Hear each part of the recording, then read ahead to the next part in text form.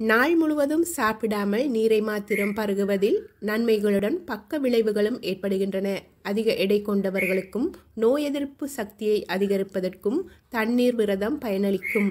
அத்துடன் தண்ணீர் விரதம் நிறையை குறைப்பதற்கும் இரத்த அழுத்தத்தை சீராக்குவதற்கும் உதவும். மாதாந்தம் ஒரு நாள் தண்ணீர் விரதத்தை கடைபிடிப்பது ஆரோக்கியத்திற்கு சிறந்தது. இறந்த செல்களை அகற்றி புதிய செல்கள் தோற்றுவிக்கவும் உதவும்.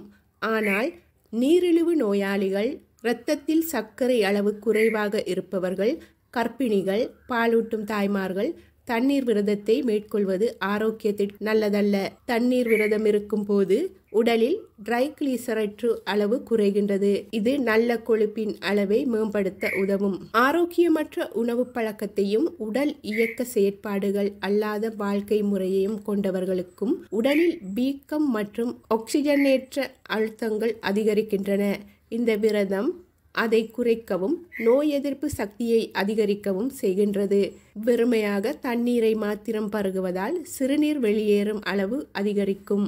இதனால் நீரிழிவு ஏற்படக்கூடும். உணவு எதுவும் உட்கொள்ளாததால் உடல் பலவீனமாக கூடும் மூளைக்கு தேவையான ஆற்றல் கிடைக்காததால் அதன் செயல்பாடும் பாதிப்பிற்குள்ளாகும்.